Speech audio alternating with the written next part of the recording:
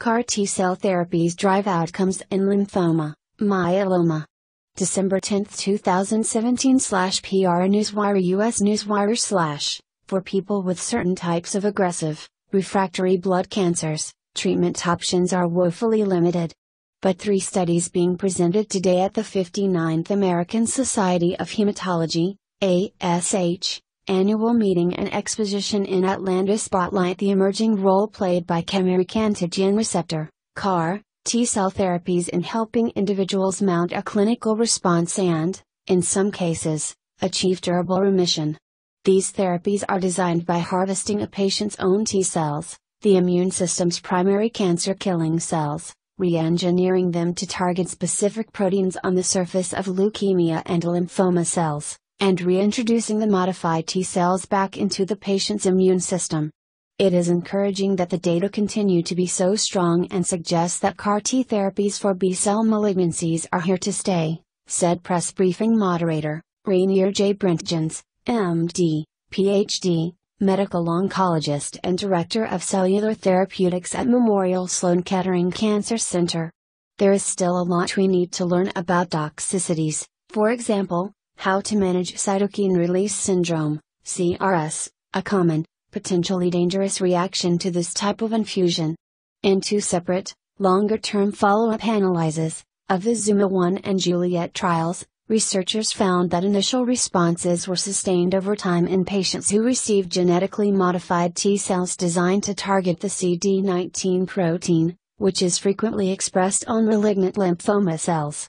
A third, phase I study, one of the largest to evaluate a CAR therapy targeting BCMA, a marker present on the vast majority of multiple myeloma tumor cells, showed encouraging early results in patients with heavily pretreated multiple myeloma.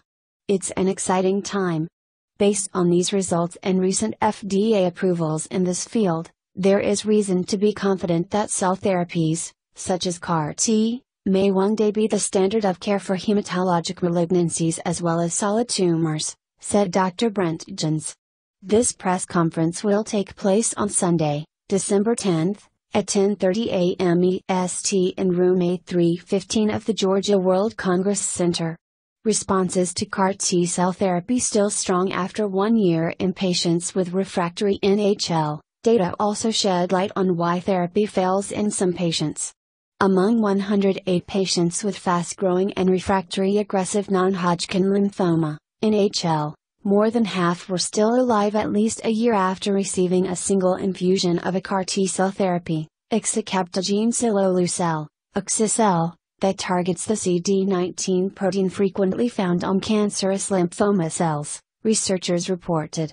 This latest analysis of Zuma 1, which combines phase I and II trial data, assess the rate and durability of responses and survival among these patients after a median follow up of 15.4 months. More than one year after a single infusion of Axicel, 42% of patients remain in remission and 40% of patients exhibit no evidence of cancer. Long term follow up of Zuma 1 confirms that these responses can be durable and the ongoing responses at 24 months suggest that late relapses are uncommon, Patients who are in remission at 6 months tend to stay in remission, said lead study author Sattva S. Neelapu, MD, professor at the University of Texas MD Anderson Cancer Center. With existing therapy, the median survival for people with this disease is only 6 months. Here, we see more than half of patients, 59%, are still alive over a year after treatment. The study, which is being conducted at 22 sites, is the largest study of a CAR T cell therapy's efficacy to date, according to researchers. Dr. Neelapu explains that the durability findings are also consistent with observations from earlier, single institution trials of Axicel in this patient population. In terms of safety, no new deaths related to the therapy occurred. Early in the study, four patients died within two months of treatment two attributable to the CAR T cell therapy and the other two to unrelated adverse side effects that are typical of disease progression. In the pivotal portion of Zuma 1, common adverse events consisted of CRS, neurologic toxicities, neutropenia, anemia, and thrombocytopenia. 10 patients experienced a serious adverse event six months after the primary analysis, including infections in 8 patients. No new onset CRS or neurologic events related to axi-cel were observed in the updated analysis.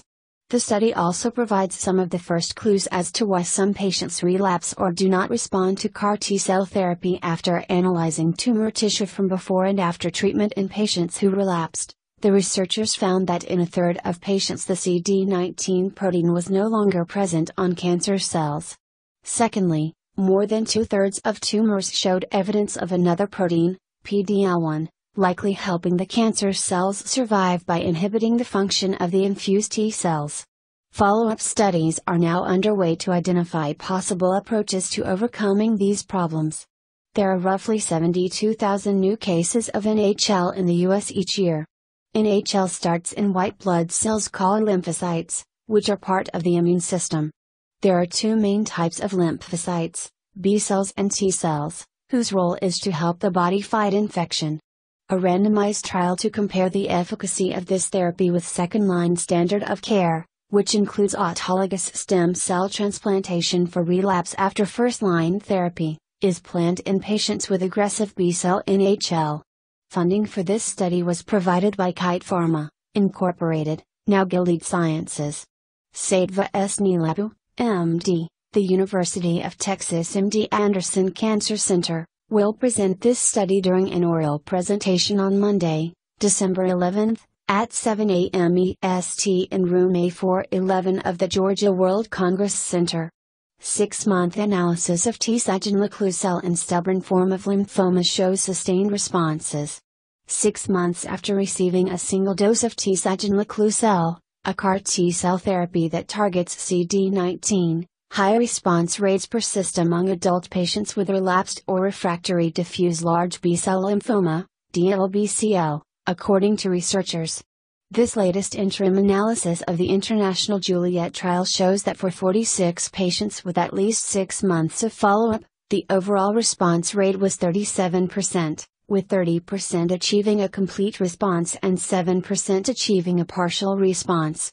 What's more, according to researchers, this observation indicates that, among 81 patients treated, those whose signs of cancer had gone away at 3 months remained relapse free at 6 months and beyond. While we don't completely understand why these remissions are so durable, it's exciting and will change how this disease is treated when conventional therapies fail, said lead study author Stephen Schuster, MD, professor of hematology, Oncology in the Perelman School of Medicine at the University of Pennsylvania, Penn, and Penn's Abramson Cancer Center. We are going to be able to offer patients who don't respond to standard therapies a form of therapy that may, after a single treatment, relieve symptoms and save lives.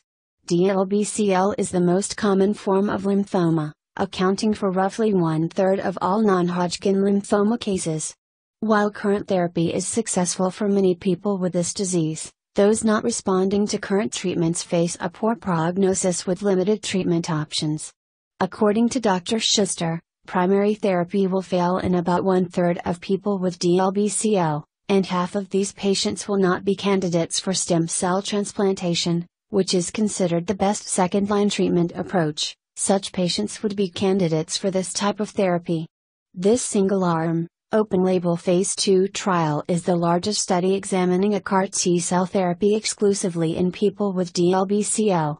It is being conducted at 27 sites spanning 10 countries across North America, Europe, Australia, and Asia. Enrollees had received two or more lines of prior chemotherapy and had disease progression, or had failed to respond or were ineligible for autologous stem cell transplant, Patients ranged in age from 22 to 76 years old. Subgroup analyses showed no difference in outcomes based on prior DLBCL treatment or risk factors.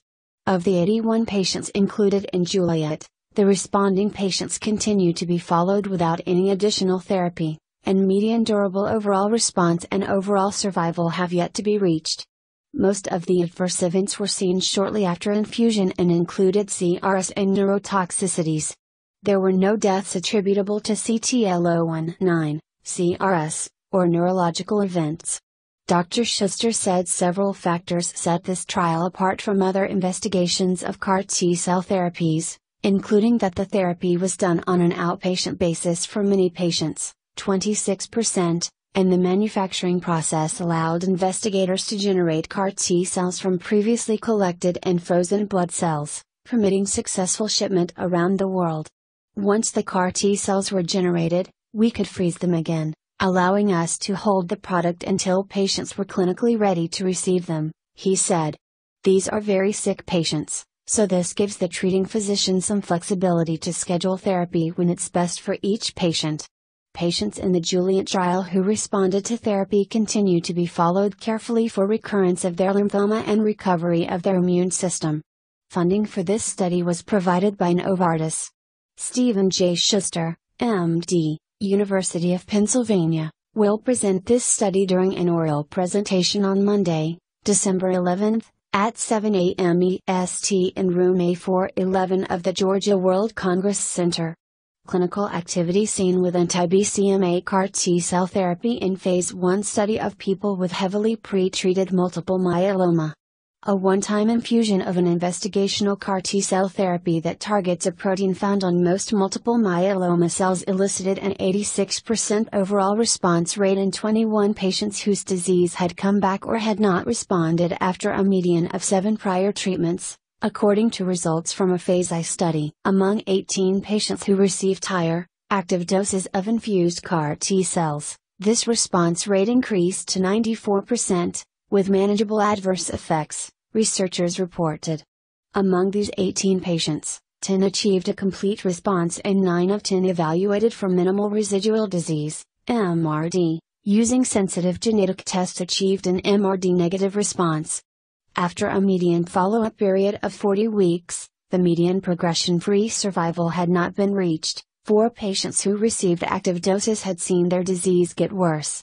We are excited about the early results in a patient population with very advanced myeloma for whom previous therapies have failed, said senior study author James N. Kochenderfer, MD, of the Center for Cancer Research at the National Cancer Institute in Bethesda, Maryland.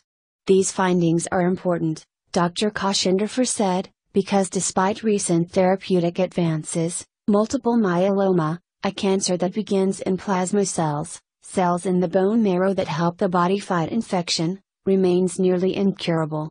Existing therapies require patients to stay on treatment long term with drugs that have side effects, he said.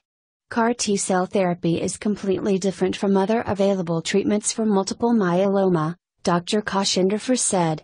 We have patients who have a sustained response and have been able to go for over a year with no additional myeloma therapy and tolerable adverse effects. The study, conducted at nine sites in the United States, is the first U.S. based multicenter study of a CAR T cell therapy engineered to target BCMA, a protein found on the vast majority of both myeloma tumor cells and normal plasma cells, but no other healthy tissues. An estimated 30,000 people in the United States will be diagnosed with multiple myeloma in 2017. 21 patients with a median age of 58 years were enrolled in the dose escalation phase of the study.